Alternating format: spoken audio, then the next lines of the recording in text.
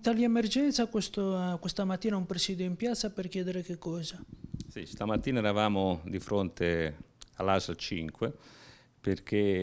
i lavoratori di Italia Emergenza sono senza stipendio e non sanno uh, quando gli pagheranno questi stipendi. Diciamo che siamo stati avvisati con una lettera dell'azienda in data 17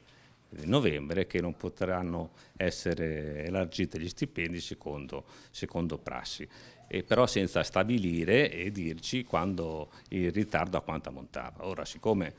eh, non sappiamo, non abbiamo avuto certezze da, dall'azienda, i lavoratori iniziano a, a, scalpitare e ci hanno chiesto di intervenire. Diciamo che noi abbiamo richiesto subitamente un incontro all'ASL per capire la natura di questo ritardo e per capire soprattutto se non fosse legato, come pensiamo, a un, un rinnovo che non c'è del documento unico di regolarità contributiva perché questo comporterebbe dei tempi molto più lunghi insomma. E quindi andando anche incontro alla fase natalizia diciamo che dobbiamo adoperarci per fare in modo che magari anche l'ASL eh, possa intervenire eh, per, per, pagare gli stipendi, magari defalcando la quota a parte che deve a Italia Emergenza per pressare un po' uh, l'azienda affinché sia più celere nel retribuire queste spettanze, altrimenti ci troverà costretti a avviare lo stato di agitazione e a proclamare lo sciopero.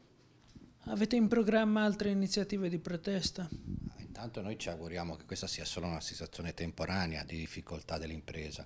perché se eh, il problema diventasse poi cronico è chiaro che la mancata presentazione del DURC eh, impone all'ente committente il non pagamento di quanto dovuto, quindi se questo fosse siamo estremamente preoccupati che magari risolto il problema adesso poi non si ripresenti il mese prossimo. Eh, ovviamente le difficoltà ci sono, parliamo di lavoratori che percepiscono neppure 1000 euro al mese, molte donne monoreddito e quindi stiamo cercando in tutte le maniere di ricercare una soluzione.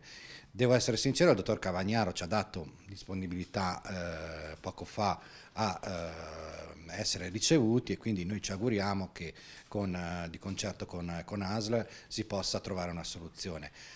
Eh, devo essere sincero, anche l'azienda nei nostri confronti non è che si sia comportata benissimo perché eh, a fronte anche dei nostri ehm, eh, ripetuti solleciti ehm, al di là di uno scarno comunicato mandato dieci giorni fa non si è mai fatta sentire e questo non riteniamo sia un comportamento corretto